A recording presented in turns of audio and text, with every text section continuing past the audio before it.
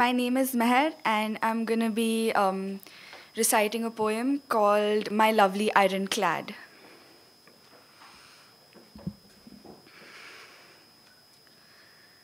Dig your own grave, you say.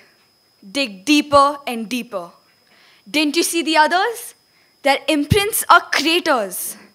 Put a smile on your face. You've been digging for longer than you can recall, and you've shed enough blood to save a burning world. The world that won't remember you, the world that only forgets, the world that hasn't stopped for a second for the millions that it leaves dead. Yet here you stand today, close to dying. Dying to be something, dying to be admired, dying to be remembered. You look so tired. And your grave looks so small, and your eyes look so sad. Did you really think that your coffin was strong and ironclad? Yet, you know you have it easier.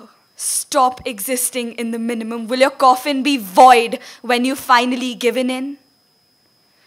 You reach down and rip out the roots of the earth. Your thoughts will be forgotten a second after your mediocre birth. Is this grave too large to fit your thoughts? Your ideas won't be remembered in a small metal box. Your palms are bleeding and your eyes are tired. You look around and you see the other tombs in sapphire and you dig. You dig in despair and you claw while you cry and you look around and see the others. Then once again you try, you try, even though you know that their grave is larger than yours. You know that their coffin will never be strong. You know that for you, the sky will never mourn.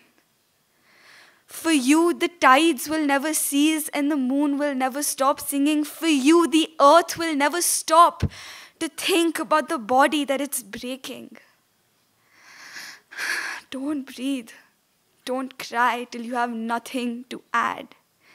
Yet a part of you can't wait to lie in ironclad.